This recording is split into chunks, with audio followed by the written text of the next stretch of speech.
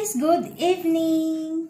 Ito tayo ngayon mag dahil magdi-demonstrate ako mag-scrubbery muna ako bago ako mag mint clay mask. Pero dapat ay mint clay mask then mag-scrub. Pero ngayon dahil magdi-demonstrate so mag-scrub muna tayo.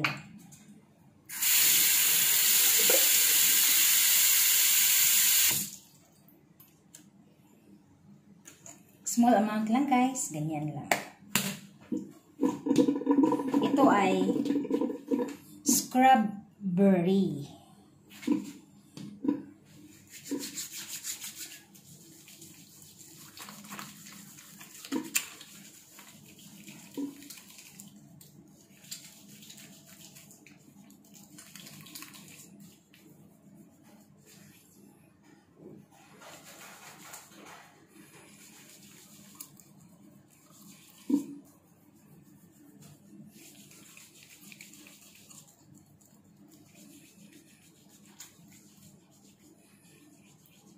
Ang bango niya guys at saka talagang ma-feel mo na walang matirang dumi sa pisngi mo kasi para siyang yung scrub niya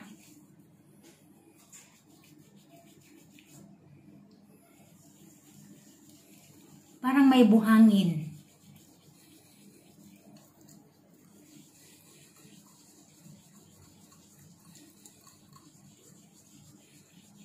Then guys, tips para para planchahin mo rin yung mukha mo sa pagmamassage mo kasi scrubbery na ito. Lalo sa ating noo, 'di ba? Kadalasan ng ating noo ay mga may mga wrinkles talaga 'yan. Yung dito, ganyanin natin. Tapos yung dito, binat, tapos ganyan.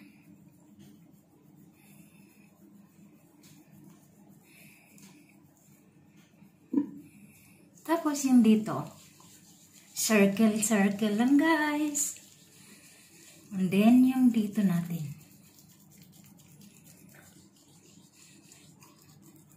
Then sa ating liig. Para ay pantay. para hindi lang ang ating mukha ang maputi.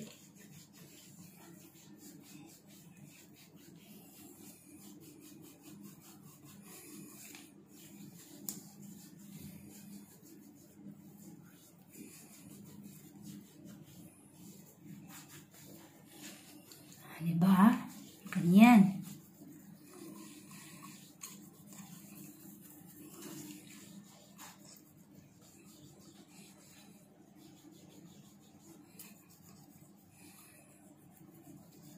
Dry na siya, di ba?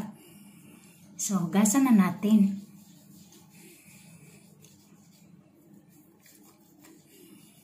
Tingnan nyo guys, malaki ito before. Sobrang liwanag nito sa pikas ko na to. Pero ngayon, pansinin nyo, hanap na siya. Balik na tayo.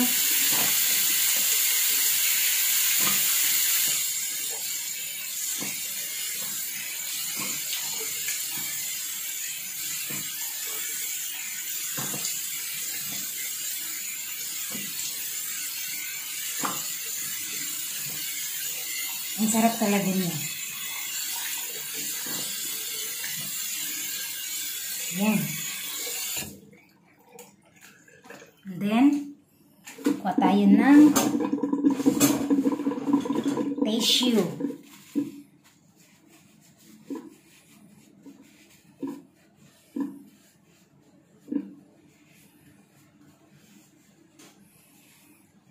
Diba? Pansinin niyo guys ang skin ko. And then, tayo mag-umulan na naman. Ay, Diyos ko. Ang ulan namin dito pa, paano, ano. Mint clay mask. Ayan, magmamask na tayo. Mint clay mask. Anti-wrinkles. And, ganyan lang guys. Ang nakasulat dyan is 15 to 20 minutes.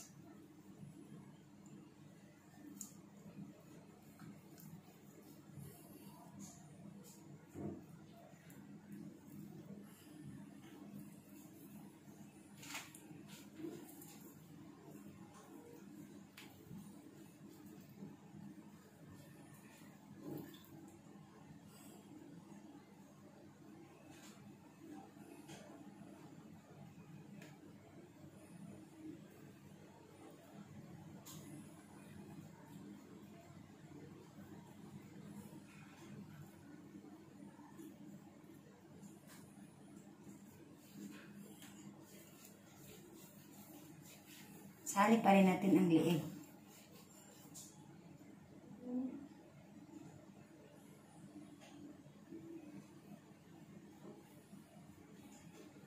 Maano mo yung menthol, guys.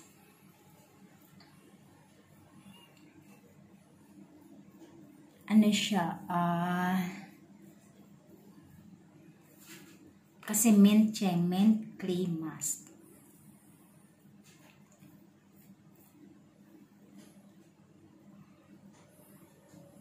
Ingat sa paglagay na hindi mapasukan ng mata.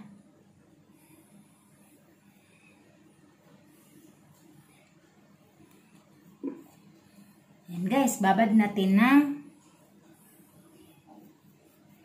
15 to 20 minutes.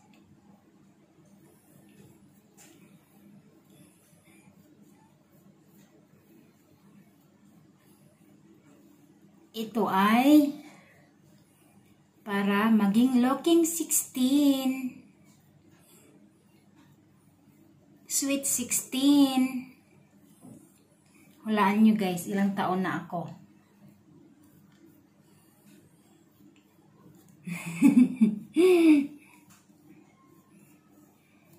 Yan. O, diba?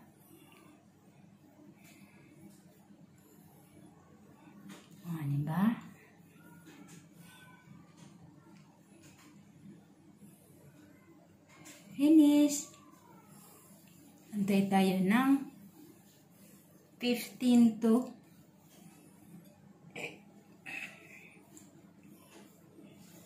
20 minutes. Pero ako guys,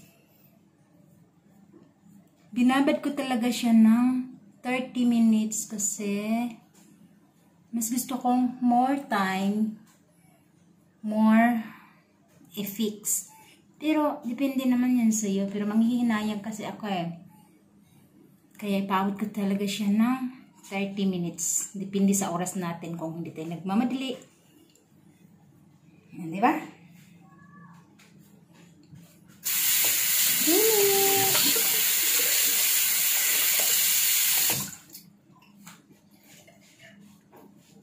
Bye! Please subscribe and please click the notification bell para sa susunod na video. At saka, sa susunod na mga healthy tips natin at saka pampaganda. Thank you!